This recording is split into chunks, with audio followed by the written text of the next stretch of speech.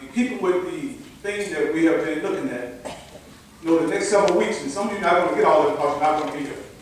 You got other more important things to do. But I'm still going to give it for those who want. But over the next several weeks, we want to look at this book, the first book of Corinthians. Paul addressed the church at Corinth. There are some things going on in the church at Corinth. It's obvious that for there to be two letters to Corinth, there was a lot of things going on in the church at Corinth.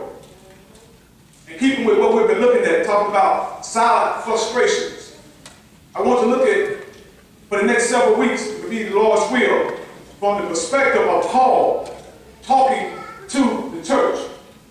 Uh, Paul dealt with frustration. And Paul addressed these frustrations to the church. And here's the gist of what Paul has said. If we ain't right,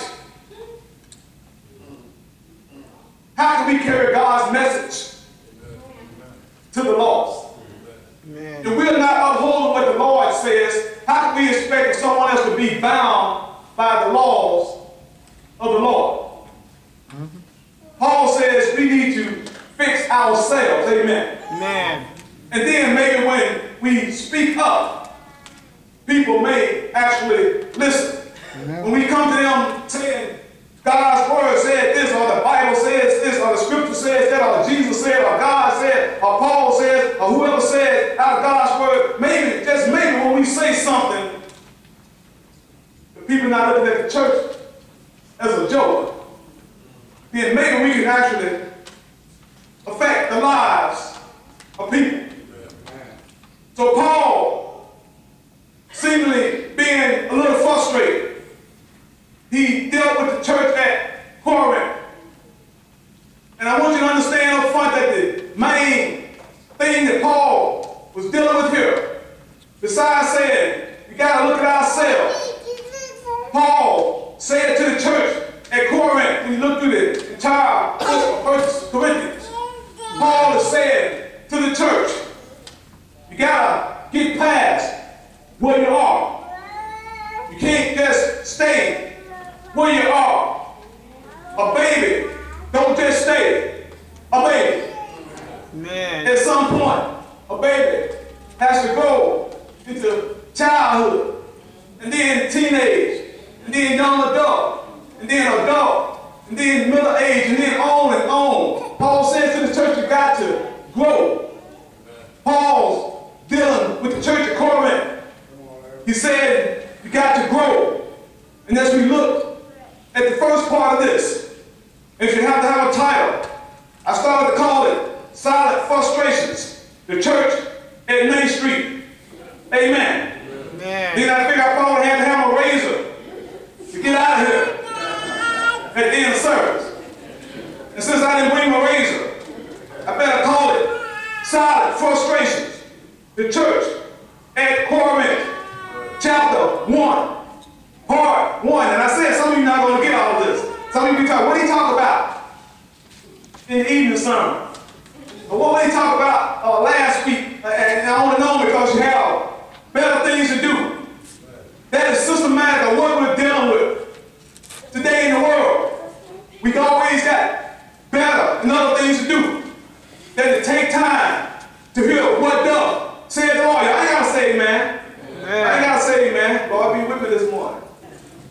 We got better and other things to do. I know things come up sometime. But when they come up all the time, we need to check ourselves. Amen. So for those who are here this morning, silent frustrations, the church at Corinth, chapter 1, part 1. And I ain't going to be long. I'm going to hit four major things that I want you to see in this first part. And remember, this is all about spiritual growth or maturity. That's a 50 cent word saying the same thing. Amen.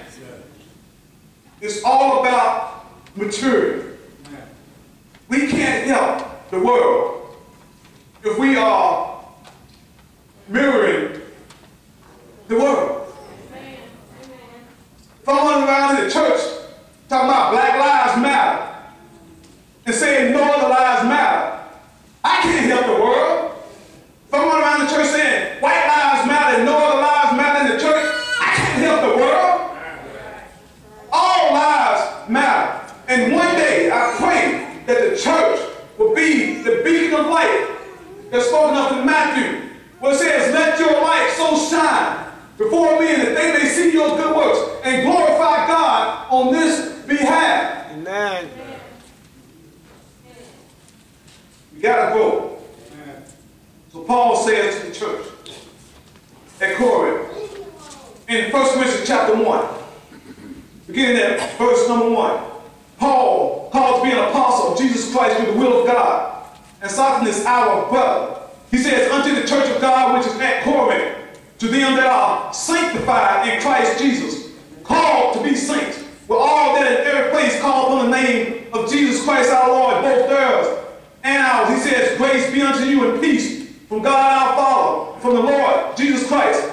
Paul says, I thank my God always on your behalf for the grace of God which is given you by Jesus Christ, that in everything you are enriched by him in all utterance and in all knowledge, even as the testimony of Christ was confirmed in you, so that you come behind in no gift, waiting for the coming of our Lord Jesus Christ, who shall also confirm you until the end, that you may be blameless in the day of our Lord Jesus Christ.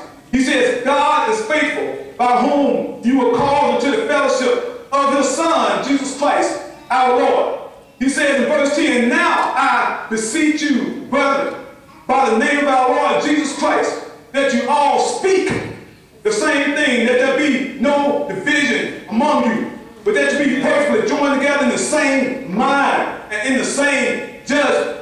And then he goes on and says, For it hath been declared unto me of you, my brethren, by them which are the house of Paul, that there are contentions among you. These are church folk. If you didn't know better, you just read this, say, boy, they couldn't food. Among them worldly folk, them carnal-minded, these are church folk. And that's what Paul said. What's going on? He says, now this I say, to every one of you say, I am a Paul, I of Apollos, and I of Cephas, I of Christ. He says, is Christ divided? Was Paul crucified for you? Or were you baptized in the name of Paul? He says, I thank God that I baptized none of you but Crispus and Gaius. Any should say that I had baptized in my own name.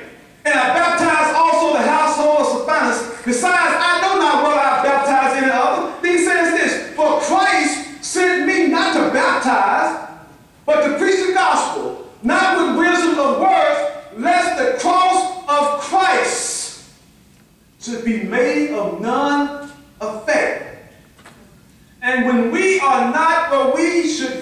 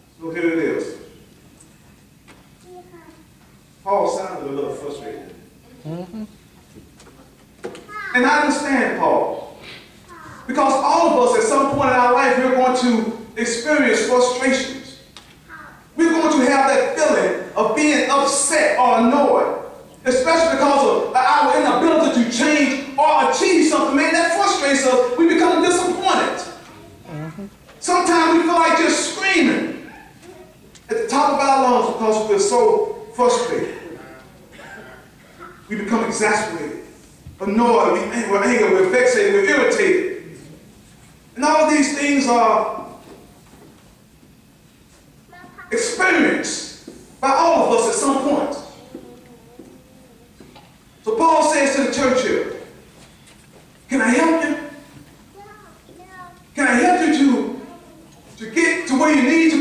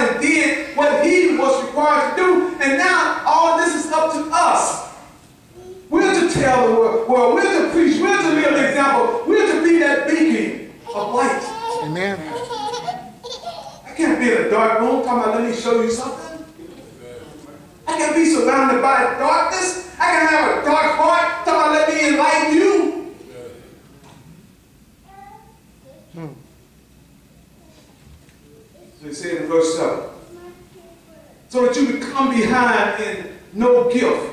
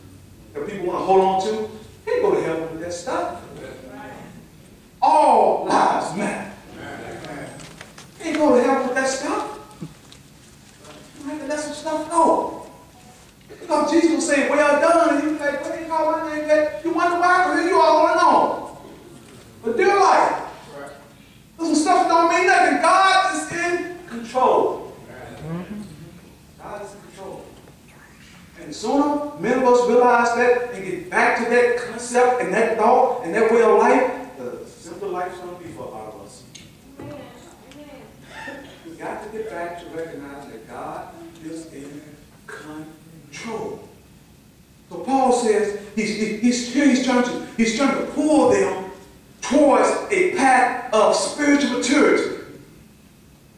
And it, it was evident uh, to Paul that if the members of the church at Corinth did not experience the proper levels of spiritual growth, then many of them would forfeit their claim on heaven. Christians be talking about right to the tree of life. That can be forfeited. Why to that one saved, always saved stuff? Let me save you out of the Niagara Falls, you jump out and I know you like the bird pull you out. And you come out there, oh, I'm saved, I'm jump back in there, no, you still can't swim. You be lost again. You know, once saved, always saved, and come to the Lord. You have to be faithful unto death. Mm-hmm. And I know along the way there's going to be struggles. All of us are struggling with things. But we can't fix anything by ourselves, and the world can't fix anything. I said this before. If you take your problem, your situation, Dr. Phil, instead of Dr. Jesus, Dr. Jesus is interested in curing what ails you, fixing what's afflicting you. Yeah. Dr. Phil is interested in how many commercial sponsors can I get? How much can I go on my bank account? And I know this is, I know this is speaking blasphemy, but that's all Oprah did too.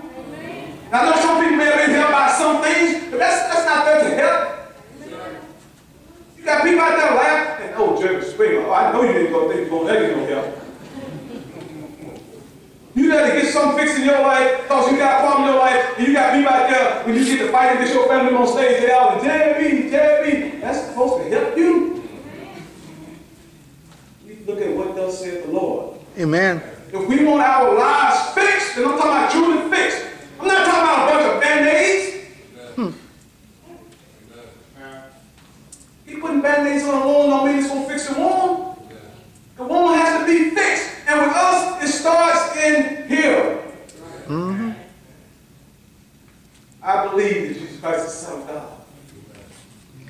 And because I made that confession, I'm going to have my sins washed away. And then I'm going to be added to his family. And then I'm going to be faithful unto death. I'm going to live for him.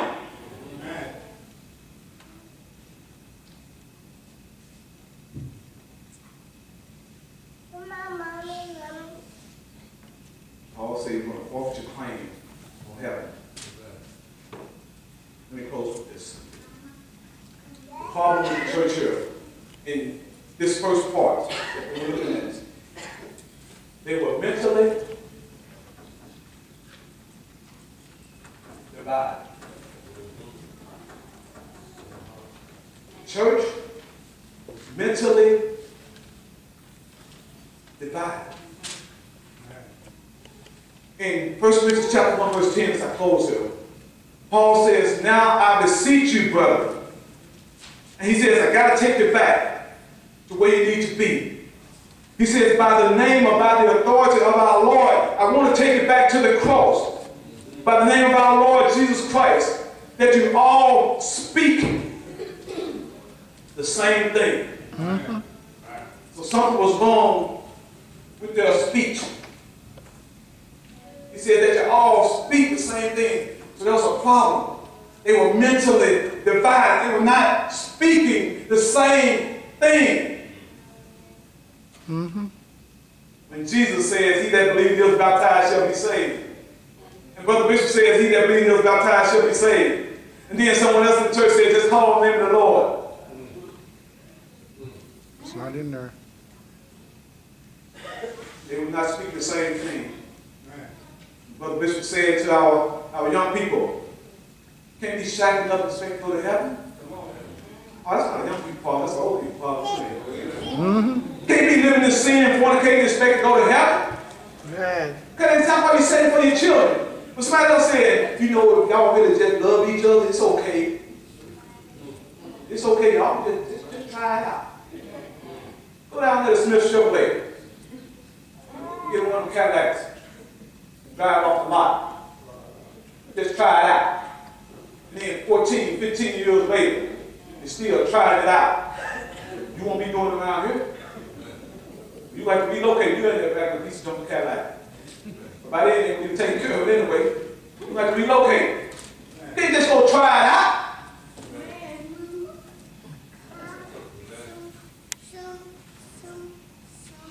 But when God's word says, love thy neighbors thyself.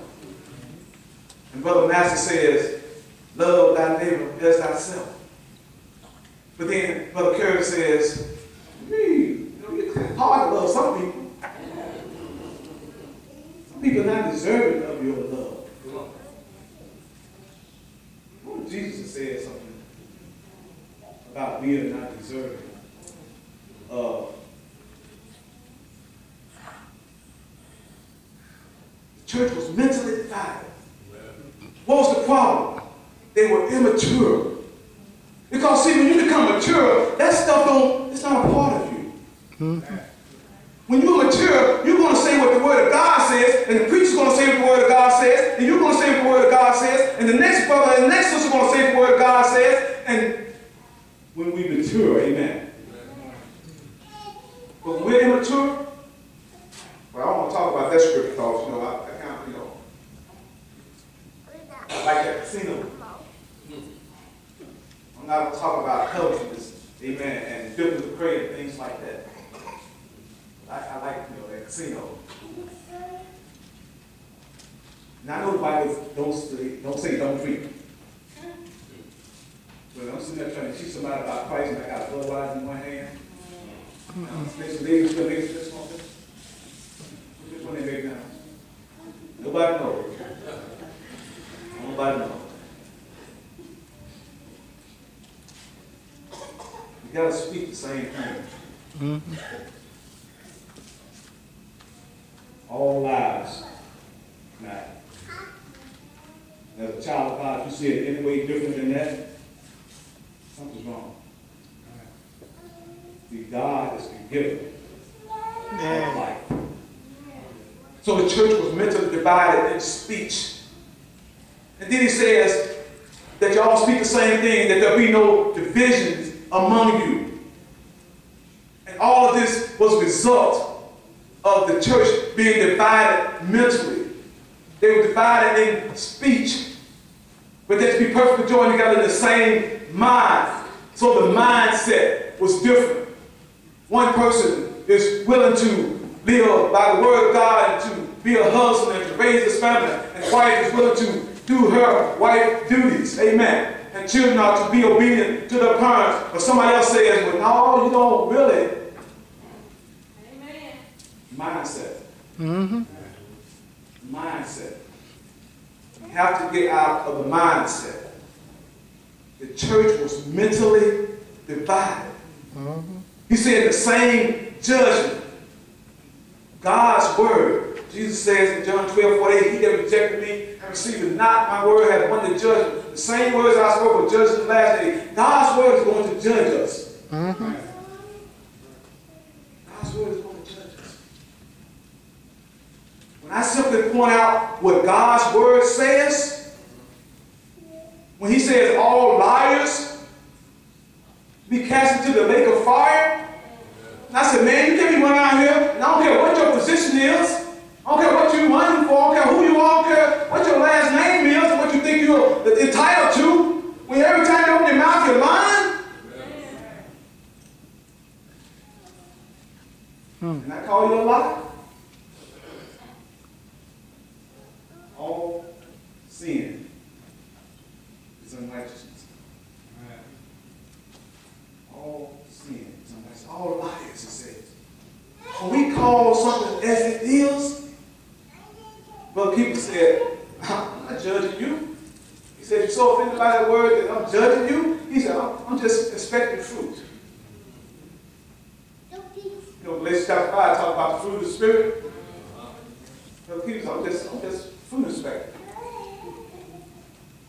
If the fruit of the Spirit says that you ought to be uh, long suffering, and you ain't got no patience for nobody.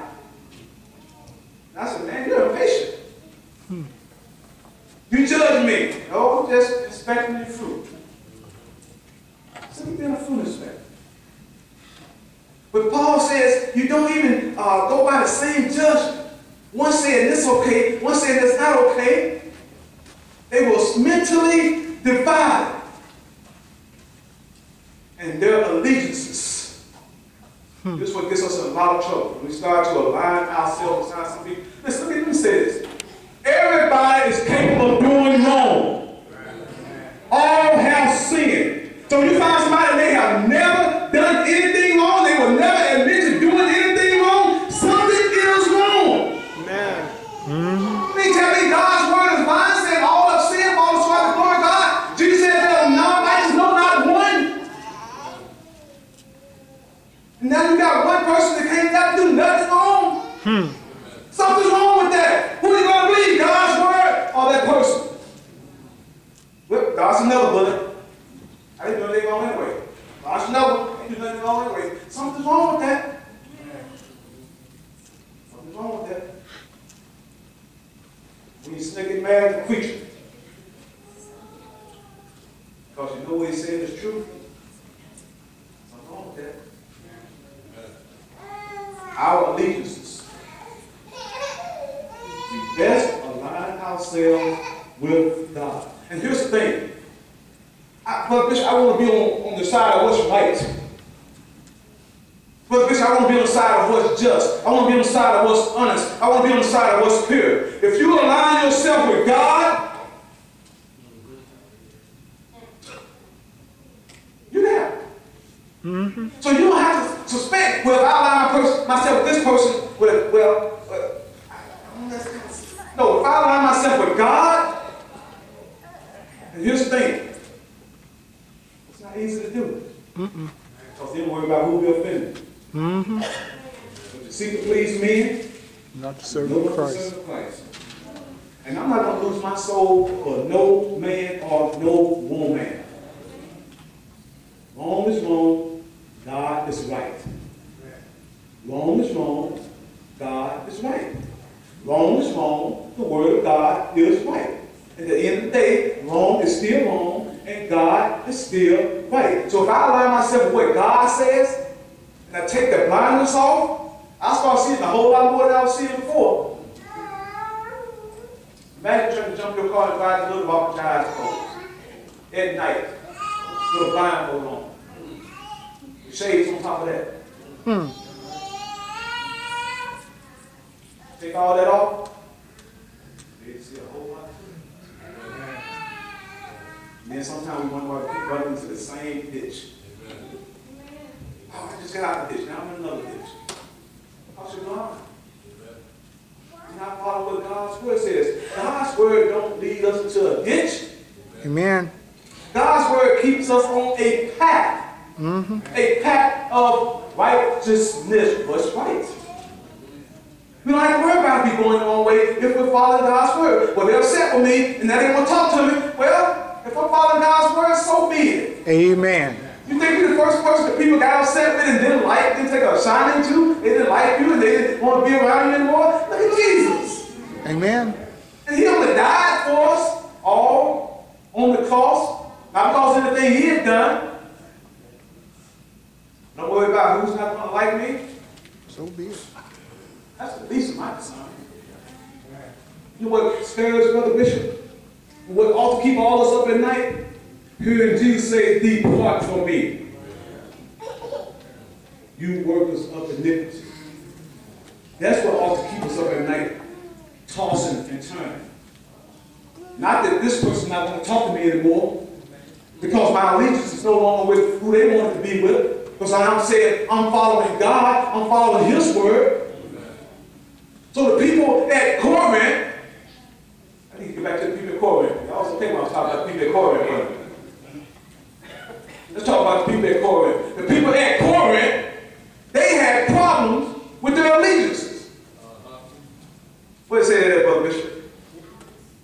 Paul says in 1 Corinthians chapter 1, verse 11, For it hath been declared unto me of you, my brother, by them which are of the house of Paul, that there are contentions among you. He said, Now this I say, that every one of you said, I am of Paul. Substitute that name for somebody else. I am of Apollos. Substitute that name for somebody else. I am of Cephas. Substitute that name for whoever you want to substitute it for. And then I of Christ. Now, we're saying we're following Christ, and we're all part of the same family. And remember, he's talking to the church now. This wasn't been to the world. This been to the church. But he wasn't trying to deal with no denominationalism. He was dealing with the church. He said, you're saying you're Paul, you're Apollos, you're Cephas, and all this stuff. And one says, I'm of Christ. They were mentally divided. All of this stuff was because of spiritual immaturity. And Paul says you need to let go of some stuff and let me show you where you need to be at this point. If you're going to make heaven your home, you're going to have to let go of some stuff. You're going to have to let go of the world. If you're going to make heaven your home, you're going to have to release some things. You're going to have to change some things. If you're going to make heaven your home, some things will have to be different.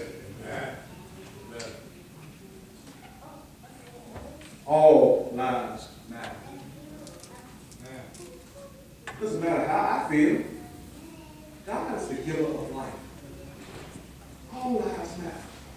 So until we let go of some things, we can hold on to all of this stuff. Well, that's just the way I've been raised. That's just the way I was. You can hold on to all this stuff. And you can miss heaven. Or you can let it go. Then Jesus say, well done, thy good and faithful servant. But the church at Corinth, Paul was dealing with them, they were immature. And boy, people get upset when you say they're immature. Talk some fighting words. Boy, they fish ball up, they pick out spot on your head. Y'all get them with three punches on you, where they hit you. That shows you're mature. Or instead of giving you attention, say, you know what? Let me go check some things. Let me go examine myself. Let me look at myself in the mirror of God's word. They're talking about how they're going to punch you out. People get upset you call them immature. You really want to make somebody mad? Call them childish. Here's the thing about children. Jesus says, except you be converted and become. As What a is it about child. children that Jesus say that? Two children get mad at each other. And boy, they be out there in the yard fighting to the death. Each other be gonna let them play together anymore. They'll be more upset after that. They'll be crying. And five minutes later, they'll be out there like nothing else happened. The two grown folks get into it. That thing becomes generational sometimes. What happens. People stop talking to each other. Children don't hold on to stuff. James says, be like Christ. Be like Christ in malice. Christ don't hold on to stuff. Christ don't have no ill intent and stuff. I know some people read that in James and they say, well, Christ, Christ uh, have malice toward people. That's not what it. It said when, when Jesus uh, has be like Christ uh, towards malice, said he don't have it. Respecting persons, he don't have it.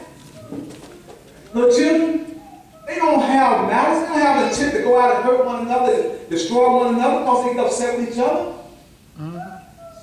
So when you take an adult person, they're being immature, and you call them childish, they got so mad at you, they don't even realize that's really not an insult. Because if they were childlike, then they wouldn't be as immature. They'd be willing to accept some criticism. As we say, constructive criticism. Call it what you want. The church at Corinth had a serious problem. They were dealing with immaturity. That's all I got, y'all, in this aspect. Just those four points. They were dealing with being mentally divided. Their speech was different. from amongst themselves. The mindset wasn't the same, the judgment wasn't the same, and the allegiances that they had, they weren't right. Because there was too many different allegiances. If you're going to make heaven your home, you have to be aligned with Christ.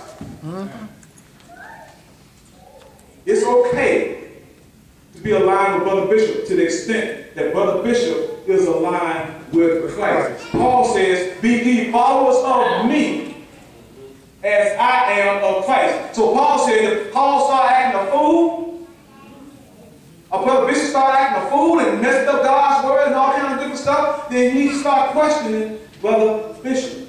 Amen. You stay with Christ. Stay with Christ.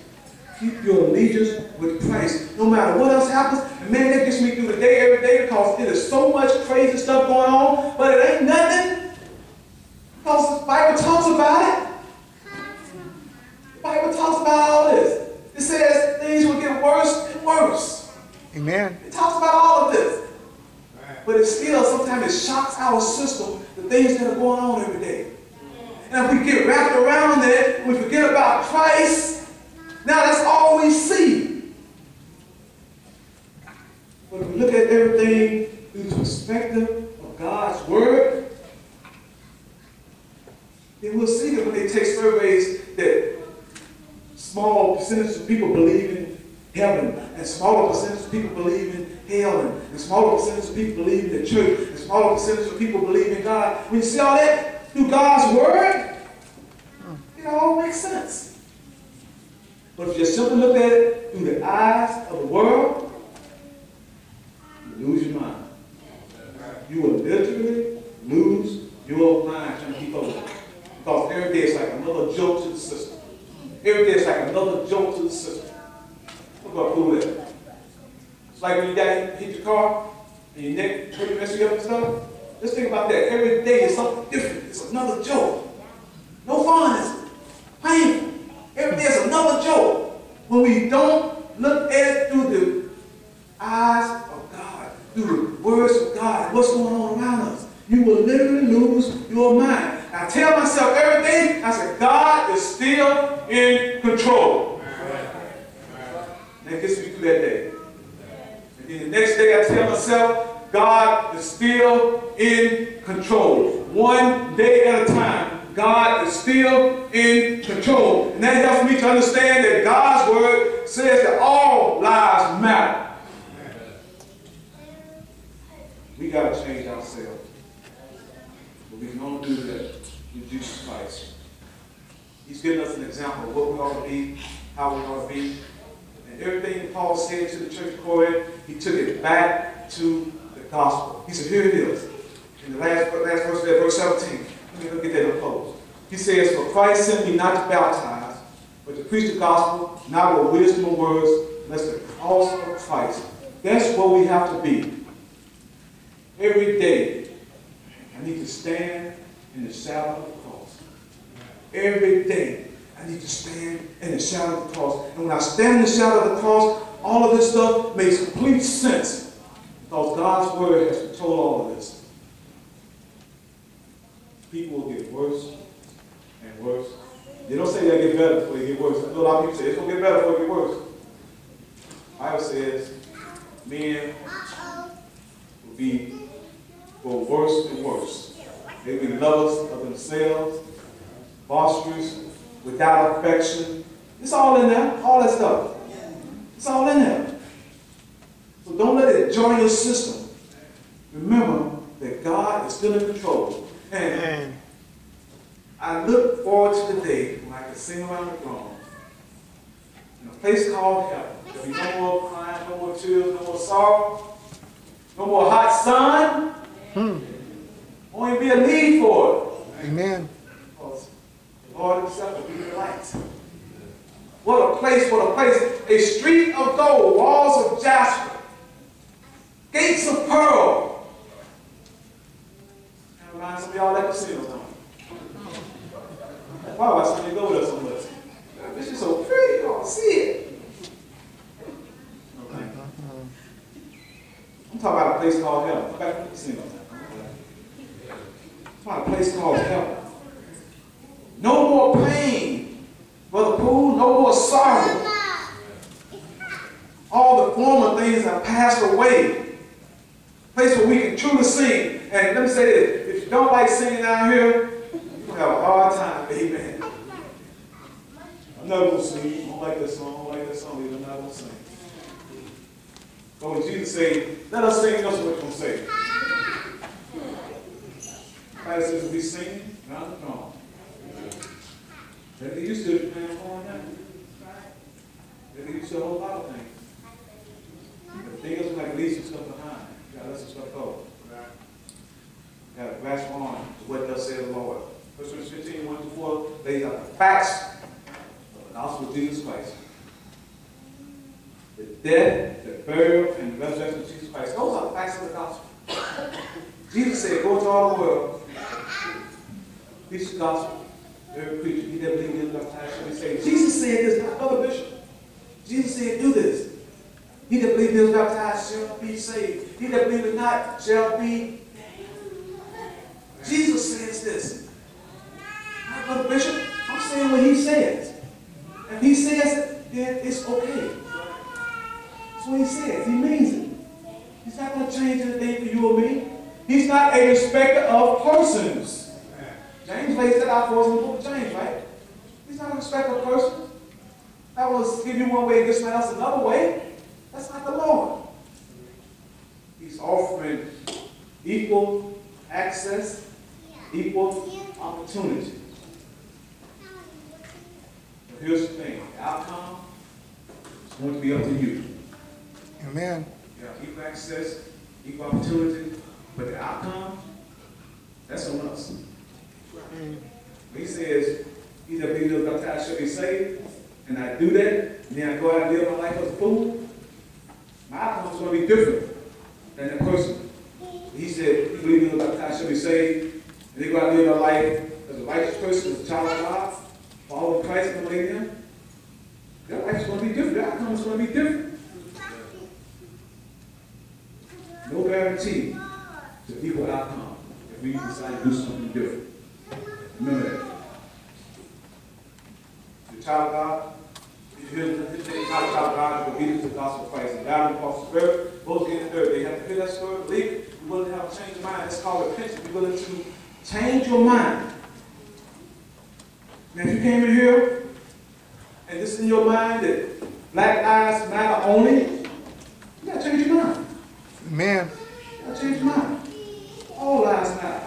Your life matters. What Jesus was said, Jews, uh, uh, Jews lives matter. Where would we be? Think about how foolish it is. Supposed to be on line. Amen? Jews lives matter. And that's all. Where would we be? How many of y'all here Jews? Nobody? That's what I thought. That's me at that attitude. All lives matter. Only Jewish souls matter. Where will we be? Think about it. The Jews, what are we talking about? Only the Jewish lives and souls matter. Will we be? God is not willing that any should perish, all come to repentance. All. All. All. All of us. We have to change our mindset. And then we have to be willing to confess that we believe that Jesus Christ is the Son of God. If you want to go to heaven, you have to confess that you believe He is Son God, and then you have your sins washed away before the big God says, rise, walk, and lose your life.